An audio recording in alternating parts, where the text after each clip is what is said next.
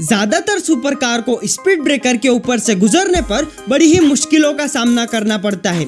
लेकिन ऐसी क्या ज़रूरत आन पड़ी जो इन सुपर कार को ज़मीन से बिल्कुल चिपका कर चलाया जाता है? इसके पीछे मेनली टू रीजन है। अगर कार की हाइट ज़्यादा होगी तो कार की स्पीड बढ़ाने पर कार और रोड के बीच में ज़्यादा से ज़्यादा हवा पास होगी, जिससे कार का बैलेंस बिगड़ जाएगा। और अगर सुपर कार की हाइट कम होगी तो कार के नीचे से हवा पास होने के चांसेस बहुत कम होंगे। जब बड़ी बड़ी एस स्पीड में होती है तो वह अचानक से मोड़ नहीं काट पाती, क्योंकि एसयूवी का सेंटर ऑफ़ ग्रेविटी रोड से काफ़ी ऊपर रहता है, जिससे कार पर पलटने का खतरा रहता है। लेकिन अपनी सुपर कार तो रोड ट्रैक पर बिल्कुल चिपक कर चलती है, पलटना तो दूर की बात है। तो कौन सी है आपकी सबसे फेवरेट स्पोर्ट्स कार